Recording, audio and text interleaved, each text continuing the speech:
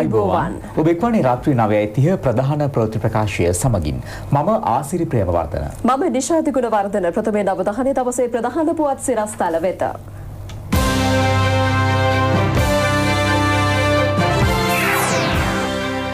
ජනතාවාදී අයවැය වැඩිචන්ද හතලිස් පහකින් සම්මතයි. මහා මාර්ග රසක් මෙම වසරේ ජන අයිතියට. ආණ්ඩුවේ කටයුතුවල වගකීම ගැන විපක්ෂ නායකගේ අදහස. ජනාධිපතිතුමාටත් ඕගේ ආණ්ඩුවනේ මේ ආණ්ඩුව ජනාධිපතිවරයාගේ. එති මේ සියලුදේට ජනාධිපත්තුමත් වග කියන්න ඕනේ.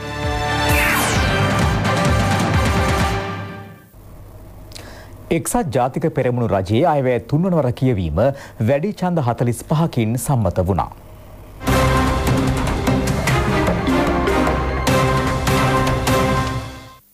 අයවැය තුන්වනවර කියවීමේ චන්ද විමසීම පැවැත්වුණේ අද සන්ධ්‍යාවේදී. එහිදී ඊට පක්ෂව චන්ද එකසිය දහ නවයක් ලැබුණු අතර විපක්ෂව ලැබුණේ චන්ද හැත්තෑ අතරක් පමණයි. යෝජනාවට පක්ෂව චන්ද එකසිය දහ නමයයි විරුද්ධව හැත්ත හතරයි දෙදාත් දහනමේ විසංජර පනත් කෙටුම් පත තුන්වැනිවර කියවා සංශෝධන සහිතව සම්මත කරන ලද බව පාර්ලිමේන්තුවට දැනුම්දීමට කැමැත්ත මේ. මුදල් අමාත්‍ය මංගල සමරවීර මහතා පාර්ලිමේන්තුවට ඉදිරිපත් කළ මෙවර අයවැය මෙරට හැත්තෑ තුන් වන අයවැයලේඛනය වනවා. අයවැය යෝජනා පාර්ලිමේන්තුවට ඉදිරිපත් කිරීමෙන් අනතුරුව දෙවනවර කියවීමේ විවාදය දින හයක් පුරා පැවැත්වුණා. අයවැය දෙවනවර කියවීමේ ඡන්ද විමසීමේදී ඊට පක්ෂව ඡන්ද 119ක් ලැබුණු අතර විපක්ෂව ලැබුණේ ඡන්ද 76ක් පමණයි. මාර්තු 12 වනදා පැවැත්වීම ඡන්ද විමසීමේදී වැඩි ඡන්ද 48කින් එය සම්මත වුණා. අයවැය තුන්වනවර කියවීමේ විවාදය ආරම්භ වුණේ පසුගිය 13 වනදායි. එහි අවසන් විවාදය අද පැවති අතර ඉන් අනතුරුවයි ඡන්ද විමසීම පැවැත්වුණේ. එදි ශ්‍රී ලංකා නිදහස් පක්ෂය අයවැයට ඡන්දය ලබා දීමෙන් වැළකී සිටියා. ජනතා විමුක්ති පෙරමුණ සහ ඒකාබද්ධ විපක්ෂයේ මන්ත්‍රීවරුන් අයවැයට විරුද්ධව ඡන්දය ලබා දුන්නා. දෙමළ ජාතික සන්ධානය සහ ලංකා කම්කරු කොංග්‍රසය නියෝජනය කරන මන්ත්‍රීවරුන් අයවැයට පක්ෂවයි ඡන්දය ප්‍රකාශ කළේ. අයවැය දෙවන වර කියවීමේදී අයවැයට විරුද්ධව ඡන්දය ප්‍රකාශ කළ පාර්ලිමේන්තු මන්ත්‍රී විජයදාස රාජපක්ෂ මහතා සහ පූජ්‍ය අතුරුලිය රතන ස්වාමීන් වහන්සේ ඡන්දය විමසන අවස්ථාවේදී සභාගර්භය තුල රැඳී සිටියේ නැහැ. මේ අතර මහනගර සහ බස්නාහිර සංවර්ධන අමාත්‍යංශය අභ්‍යන්තර හා සුදේශ කටයුතු පළාත් සභා හා පළාත් පාලන අමාත්‍යංශවල පරිපූර්ණක ඇස්තමේන්තු සම්මත වූ අතර සුදේශ කටයුතු අමාත්‍යංශයේ පරිපූර්ණක ඇස්තමේන්තුවට දෙමළ ජාතික සන්ධානය පක්ෂ වීමෙන් වැළකී සිටියා.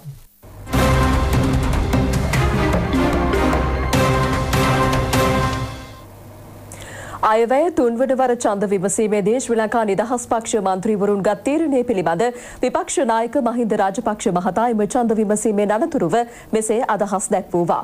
තවත් මැති ඇමතිවරුන් කිහිප දෙනෙකුද අයවැය සම්බන්ධයෙන් තම අදහස් පළ කළා.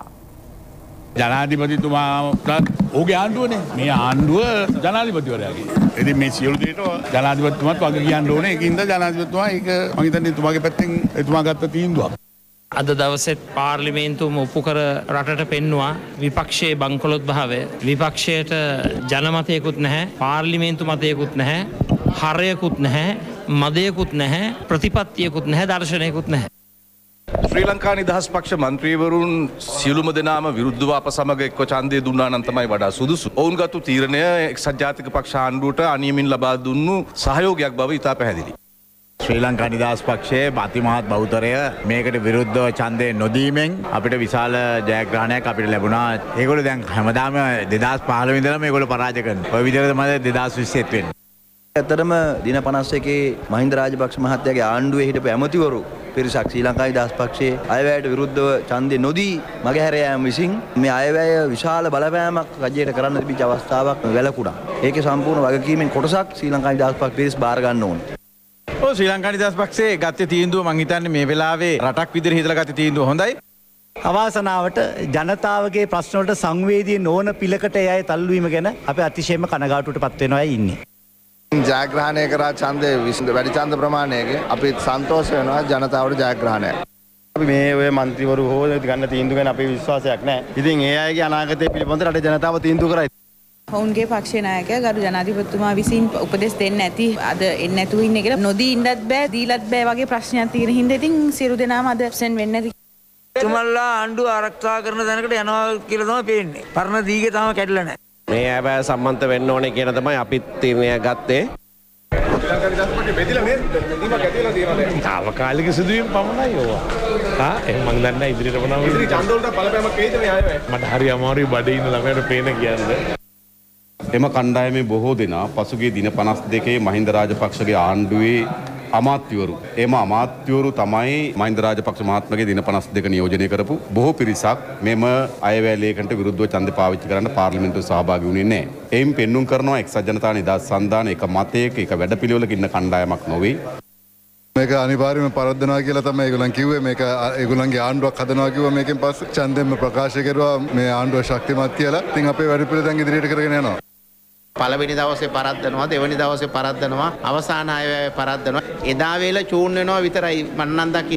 ආනවා මේ විපක්ෂල ආනවා කොයිද ආණ්ඩුව කොයිද ආණ්ඩුව අර කිව්ව ආණ්ඩුව කෝ අපිට කිව්වා අපේ ආණ්ඩුවට එන්න ලොකු අපිටකම දෙනවා කියලා. කොයි ආණ්ඩුව? නෑනේ මුදලමැතිතුමා කියප එකද? මතක කරන්න කැමති මොකද කිව්වා? විපක්ෂ නායකතුමනි. ශ්‍රේෂ්ඨ නායකවරණි. ඔබතුමා මේ වගේ අයටද නායකත්ව දෙන්න කියලා ඇහුවා. ඒක අපිට තන්නේ එක්සත් ජාතික පෙරමුණ රජයේ අයවැය විශිෂ්ඨාන්ඩමින් ජයග්‍රහණය කර විස්සයි විස්සෙන් පස්සේ. එක්සත් ජාතික පක්ෂයේ එක්සත් ජාතික පෙරමුණේ රජයක් සඳහා අවශ්‍ය ශක්තිමත් අත්තිවාරම අපි මේ අයවැයෙන් සපයලා තියෙනවා. අයවැය දෙවනවර කිවීමේ කාලක සභා අවස්ථාවේ විවාදය අතරතුර පාර්ලිමේන්තු මන්ත්‍රී නිමල් ලංසා මහතා හා රාජ්‍ය අමාත්‍ය රංජන් රාමනායක මහතා අතර උණුසුම් වචන හුවමාරුවක් සිදු වුණා. රංජන් රාමනායක මාත්‍යය තමා මේ ETI එකේ අධ්‍යක්ෂකරුවෙනින් පෙනීටින්නේ. අපි ආනාකරු රංජන් රාමනායක මාත්‍යයගෙන් ETI එක අධ්‍යක්ෂක මාතෘන්ට ඔරාට ඔරා කියන්න ඇත්තේ කියලා. ලංස මාත්‍යෝ මේහන්ට කලබල වෙන්න එපා පොයින්ට පෝටල එක ඉදිරිපත් කරන්න රංජන් රාමනායක මේ විවාදය යන මට්ටමනු මා ඔබතුමාට යෝජනා කරනවා ගැලරියෙන් දරුවන් අයින් කරන්න කියලා. මෙතන මේ පාසල් ශිෂ්‍ය ශිෂ්‍යාවන් ඇවිල්ලා ඉන්නවා. මෙතන මේ වචන පාවිච්චි කරද්දී මොකක් හරි ක්‍රමවේදයකට පාවිච්චි කරන මේ කුමාරප තියාගන්නවා මේ අද අද විවාදයට මෙතන.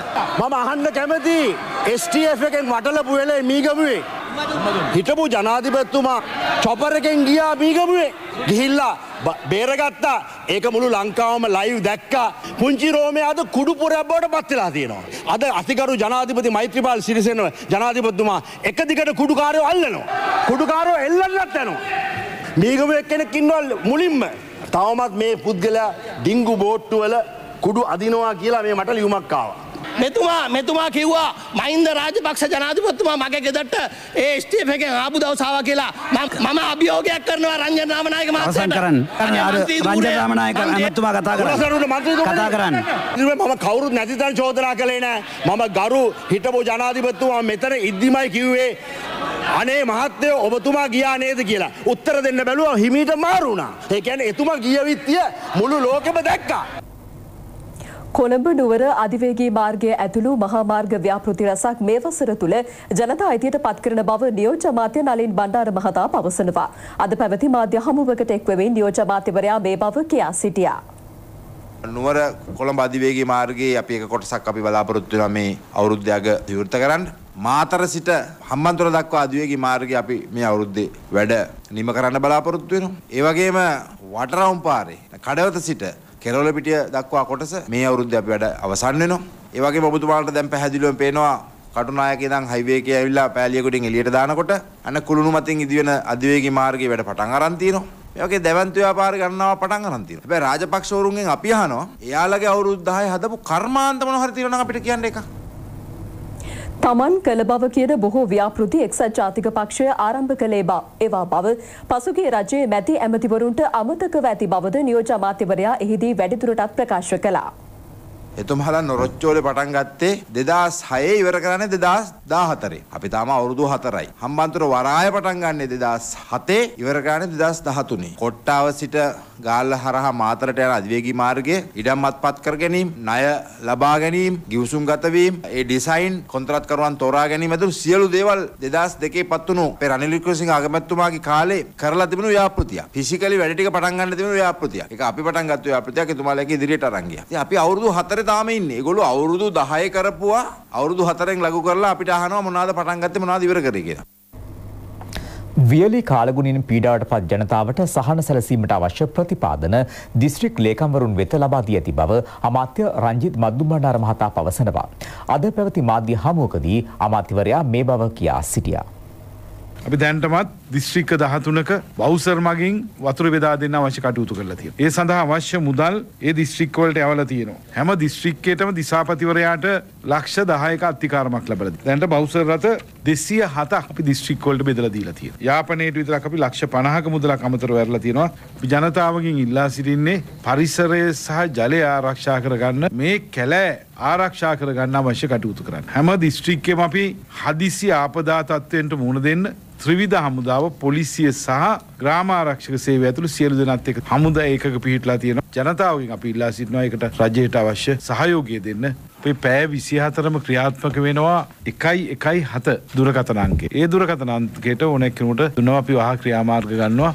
මෙම මාධ්‍ය හමුවේදී අදහස් දැක් වූ කාලගුණ විද්‍යා දෙපාර්තමේන්තුවේ අධ්‍යක්ෂ ජෙනරාල් අතුල කරුණාරත්න මහතා. වලාකුළු නිර්මාණය වෙනවා. හැබැයි නිර්මාණය වෙලා පැය භාගයක් විතර වර්ෂාපතනයක් තමයි ලැබෙන්නේ. ඒක ඇත්තටම අපේ මේ විදුලි බලාගාර ආශ්‍රිත ජලාශ පිරිට තරම් වැසි ලැබෙන්නේ නැහැ කියන එක පැහැදිලිව කියන්න පුළුවන්. මේ දිනවල සූර්යා ලංකාව හරහා තියෙන්නේ. හැබැයි අවශ්‍ය තරම් වර්ෂාපතනය අපිට ලැබුණොත් මේ තත්ත්වය අඩු වෙන්න හැකියාවක් තියෙනවා. මැයි මාසේ 20 25 විතර වෙනකන් මේ තත්ත්වය අඩු වැඩි වෙමින් පවතිනවා.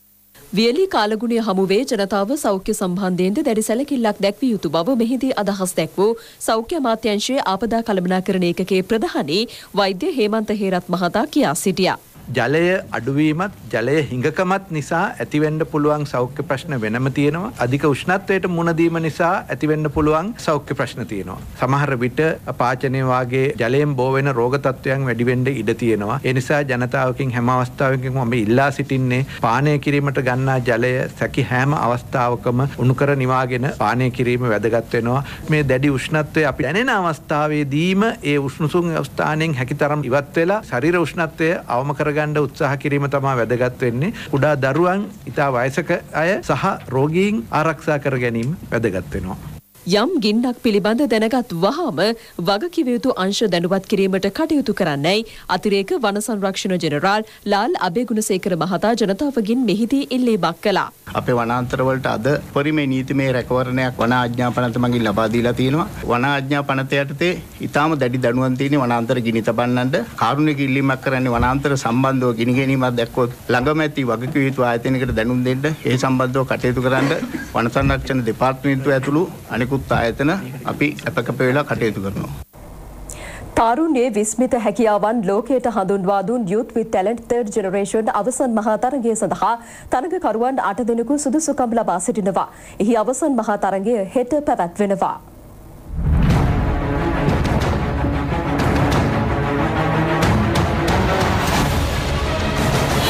ජාතික තරුණ සේවා සභාව සහ ITN එක්වයි Youth with Talent Reality ඔබට තිලින කරන්නේ.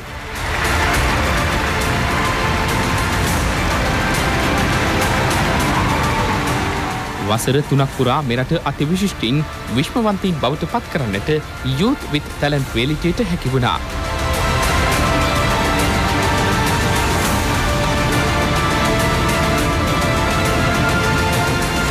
තර්ඩ් ජෙනරේෂන් අවසන් මහා තරගයට තරගකරුවන් අට දෙනෙකු සුදුසුකම් ලබා සිටිනවා.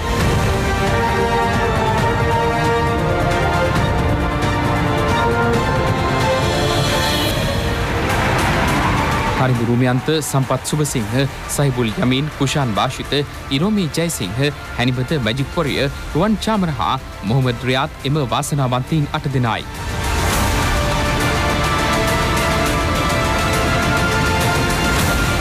අවසන් මහා තරගී සඳහා ජාතික තරුණ සේවා සභා පරිශ්‍රය මේ වන විට සූදානම් කරමින් තිබෙනවා.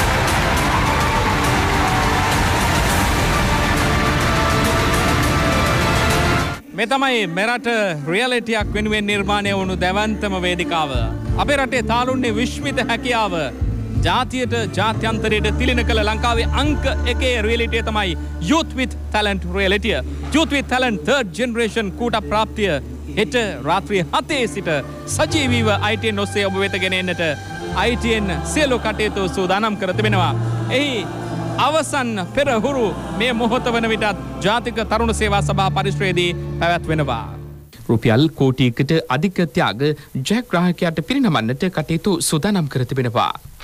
සතර දිගන්තේ පියවා ගොසිනා විලසමිය සීසේ මෙරටේ විවිධ හැකියාවන් තියෙන විවිධ දක්ෂතා තියෙන තරුණ තරුණියන්ට තමන්ගේ දක්ෂතා හැකියා පෙන්වන්න තියෙන එකම වේදිකාව තමයි මේ යුත් විට්ටලන් වැඩසටාන. හෙට තමයි අපි බලාපොරොත්තු වෙච්ච දවස. මේ රටේ හුස්ම ගන්න සියලු පුරවැසියන්ට මං ආරාධනා කරනවා හෙට රාත්‍රී 7ට ITN සමග එකතු වෙන්න. යුද්ධිත් චැනල් සුවහසක් ප්‍රේක්ෂක ජනතාව ආදරය කරන මවබිමට මුල්ලැදපු එකම රියලිටි වැඩසටහන නිර්මාණය වුණේ ස්වාධීන රූපවාහිනී සේවයත් ජාතික තරුණ සේවා සභාවත් නිසාමයි. Youth with Talent grand finale හෙට රාත්‍රී හතේ සිට සජීවීව අයිටන් ඔස්සේ නැරබිය හැකි. Youth with Talent. යළිත් දේශීපුවත්. කඩකාමර වෙන්කිරීමේදී ඇති වූ නොසන්සුන්කාරී තත්ත්වයක් හේතුවෙන් බණ්ඩාරකම ප්‍රාදේශ සභාවේ මන්ත්‍රීවරුන් අතර ගුටි බැට හුවමාරුවක් ඇති වුණා. ශ්‍රී ලංකා පොදුජන පෙරමුණට බලය හිමි බණ්ඩාරකම ප්‍රාදේශීය සභහ සැසිවාරයේදී අද උණුසුම් තත්ත්වයක් හටගත්තා. ඒ පොදුජන පෙරමුණේ මන්ත්‍රීවරුන් හා විපක්ෂ මන්ත්‍රීවරුන් අතර ඇති වූ ගැටුමක් හේතුවෙන් බණ්ඩාරගම ප්‍රාදේශීය සභාවට අයත් නව පොදු වෙළඳ සංකීර්ණයේ කඩකාමර බෙදාදීම සම්බන්ධයෙන් විශේෂ සභාවාරයක් ඇඳවා තිබුණා. මෙම වෙළඳ සංකීර්ණය ඉදිකිරීමේදී එම භූමියේ පදිංචිව සිටි පවුලක් ඉන් ඉවත් කර තිබුණේ ඔවුන්ට කඩකාමරයක් හා නිවසක් ලබා දෙන බවට බලධාරීන් ලිඛිත පොරොන්දුවක් දීමෙන් අනතුරුවයි. එහෙත් එම පවුලට කඩකාමරයක් ලබා දීම ප්‍රාදේශීය සභා සභාපතිවරයා ප්‍රතික්ෂේප කිරීමත් සමග විපක්ෂ මන්ත්‍රීවරුන් ඊට විරෝධය පළ කළා. ඉන් අනතුරුවයි එය ගැටුමකට පරිවර්තනය වුණේ.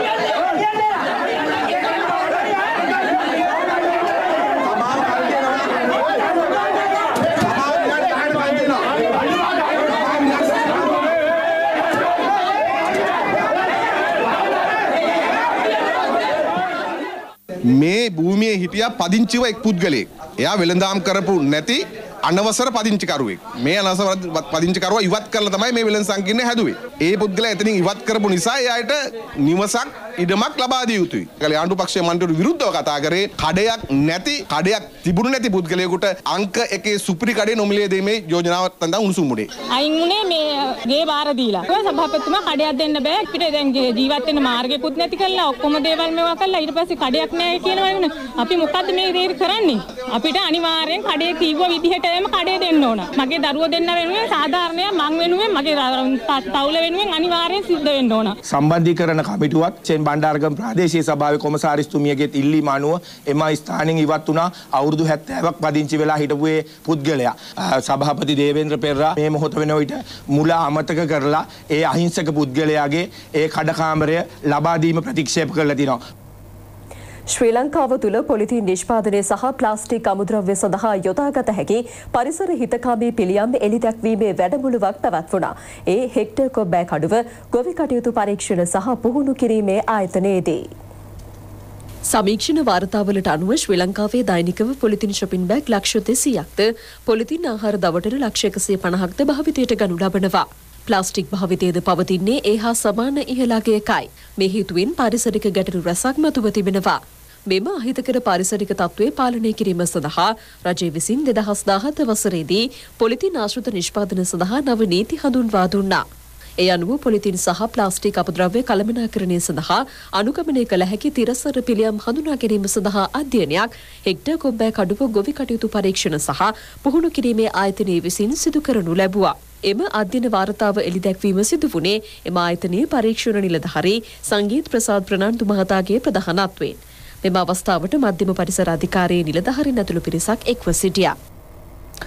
මොහොදේ සිදුවන හදිසි තෙල් විසුරුම් පාලනය කිරීමේ පෙරවරුවක් හා දැනුවත් කිරීමේ වැඩමුළුවක් සමුද්‍රිය පර්ශණ ආරක්ෂණ අධිකාරියේ මෙහෙවීමෙන් පැවැත්වුණා. ඒ එම අධිකාරයේ සභාපති ව්‍රිය අද්මිරාල් රෝහණ පෙරේරා මහතාගේ ප්‍රධානත්වයෙන්. මෙම දැනුවත් කිරීමේ වැඩමුළුව හා පෙරහුරුව ආපදා කළමනාකරන මධ්‍යස්ථානය කේන්ද්‍ර කර ගනිමින් පැවැත්වුණා. කොළඹ වරායට නුදුරු මුහුදේදී නෞකාවකින් ටොන් එකසිය පණහක ඉන්දන කාන්දුවක් සිදුවී ඇතැයි උපකල්පනය කරමින් වැල්ලවත්ත හා ගල්කිස මුහුදු තීරයේ ක්ෂේත්‍ර අභ්‍යාස සිදුකිරීමටයි පියවර ගැනුණේ. ත්‍රවිධ හමුදාව පොලිසිය වෙරළ ආරක්ෂක බලකාය කනිජතෙල් නීතිගත සංස්ථාව මධ්‍යම පරිසරාධිකාරිය ඇතුළු ආයතන ගණනාවක සහය ඊට ලැබී තිබුණා. අපේ ලංකාවේ තියෙන වෙරළ කලාපය ඉතාමත් හොඳ තත්ත්වයේ පවත්වා ගන්න තෙල් සිස්ටමක් නොතින් වෙන හානිය පුළුවන් තරම් අඩු කරලා ඒ වගේම සංචාරක කර්මාන්තය දීවර කර්මාන්තය ඉතාමත් හොඳ තත්ත්වයක් ඇති කර අවසානයේ වෙන හානිය අඩු කිරීම හරහා හොඳ පරිසර තත්ත්වයක් ඇති කිරීම තමයි මේ මේකේ ප්‍රධාන අරමුණු වශයෙන් මට දක්වන්න පුළුවන් වෙන්නේ. නැවතත් ප්‍රවෘති. ලෝක සෞඛ්‍ය දිනය අනිත්තාට යෙදී තිබෙනවා. ඒ වෙනුවෙන් වැඩසටහන් රැසක් ක්‍රියාවට නැගවීමට කටයුතු යොදා ඇති බව ශ්‍රී ලංකා වෛද්‍ය සභාවේ සභාපතිනි අනුරා විජේසිංහ මහත්මිය කොළඹ පැවති මාධ්‍ය හමුවකදී ප්‍රකාශ කළා. විශ්ව සෞඛ්‍ය ආවරණය මේ තේමාව යටතෙන් තමයි ලෝක සෞඛ්‍ය සංවිධානය මේ දිනය සමරන්නේ. මෙම ලෝක සෞඛ්‍ය ආවරණය ස- ලබා ගැනීම සඳහා ඉලක්ක 30ක් පමණ තිබෙනවා. මේ ඉලක්ක රාශියක්ම අපිට ලබා ගන්න තිබෙන්නේ 2030 දී. නමුත් දැනටමත් මේ ඉලක්ක වලින් රාශියක් ශ්‍රී ලංකා වෛද්‍ය සේවයට ලබා ගන්නට හැකි වුණා. අපිට පුළුවන් වී තිබෙනවා මැලේරියාව, දරුවන්ට හැවෙන පිටගස්ම රෝගය, ඩිෆ්තීරියාව, පෝලියෝ යන මේවා සම්පූර්ණයෙන් තුරන් කිරීමට. ලෝක සෞඛ්‍ය සංවිධානයේ අනික් අ, ඉලක්කය තමයි සැමට සමාන සෞඛ්‍ය සේවා ලබා දීම. මෙය මානසික හා සෞඛ්‍ය හා හා ශාරීරික සෞඛ්‍ය පමණක් නොව ජලය, වාතය, පරිසරය, තව ලිංගික අධ්‍යාපනය යන මේවා සියල්ලම ලබා දීම තමයි ලෝක වෛද්‍ය සංවිධානයේ අරමුණු. කාලගුණ තොරතුරු ගෙනෙන්නේ තාරකා විජයවංශ.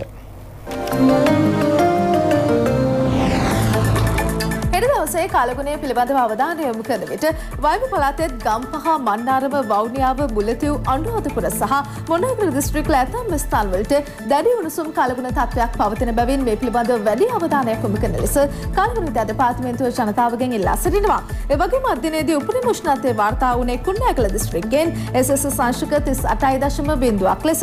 අවම උෂ්ණත්වය වාර්තා වුණේ නූරිලි දිස්ත්‍රික්කයෙන් එසස සංශක 24.0ක් ලෙසටයි.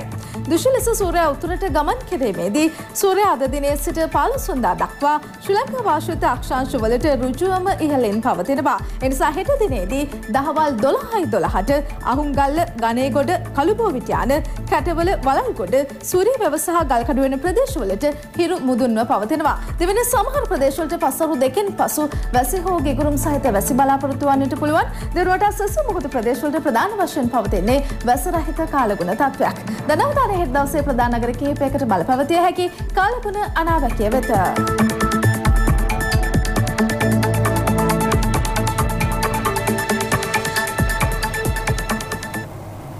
ඒ සමගින් ප්‍රවෘත්ති අවසන් වනවා. ඔබට සුභරාත්‍රයක්.